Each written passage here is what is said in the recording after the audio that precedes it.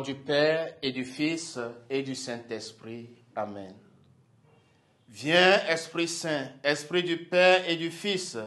Viens, Esprit de sainteté, transformer nos vies à don d'amour. Amen. Le Seigneur soit avec vous.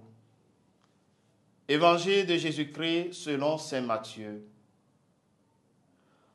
En ce temps-là, Jésus disait à ses disciples, Je vous le dis, si votre justice ne surpasse pas celle des scribes et des pharisiens, vous n'entrerez pas dans le royaume des cieux. Vous avez appris qu'il a été dit aux anciens, Tu ne commettras pas de meurtre. Et si quelqu'un commet un meurtre, il devra passer en jugement. Eh bien, moi je vous dis, tout homme qui se met en colère contre son frère devra passer en jugement. Si quelqu'un insulte son frère, il devra passer devant le tribunal. Si quelqu'un le traite de fou, il sera passible de la gêne de feu. Donc, lorsque tu vas présenter ton offrande à l'autel, si là tu te souviens que ton frère a quelque chose contre toi, laisse ton offrande là devant l'autel. Va d'abord te réconcilier avec ton frère et ensuite viens présenter ton offrande. Mets-toi vite d'accord avec ton adversaire pendant que tu es en chemin avec lui pour éviter que ton adversaire ne te livre au juge, le juge au garde et qu'on ne te jette en prison.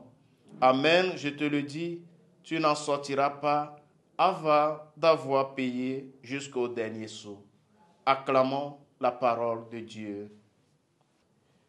Chers frères et sœurs en Christ, en ce jeudi 13 juin 2024, jeudi de la dixième semaine du temps ordinaire, année B, l'Église nous invite à fêter Saint Antoine de Padoue, frère mineur, prêtre et docteur de l'Église.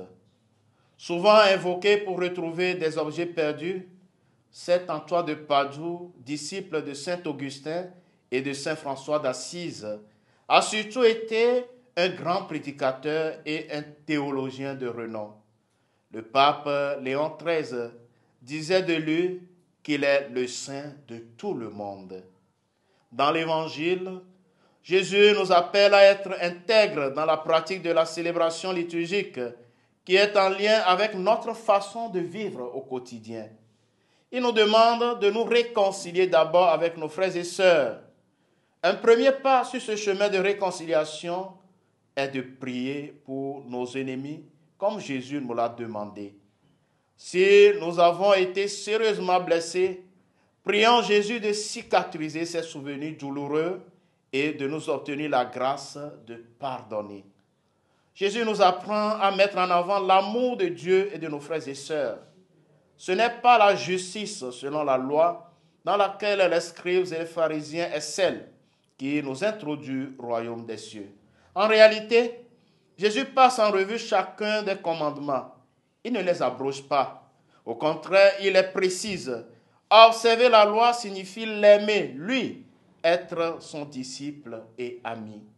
Frères et sœurs bien-aimés, en nous approchant de l'autel, nous nous laissons transformer par le mystère de l'Eucharistie qui fait de nous des frères et sœurs qui s'aiment dans la joie, des êtres nouveaux, porteurs de l'amour infini de Dieu. Et nous demandons pardon et l'assemblement pour notre misère. Demandons à Dieu, par l'intercession de Saint Antoine de Padoue, de renouveler notre cœur et notre regard pour nous guérir de nos divisions. Le Seigneur soit avec vous. Que Dieu Tout-Puissant vous bénisse, le Père et le Fils et le Saint-Esprit. Amen.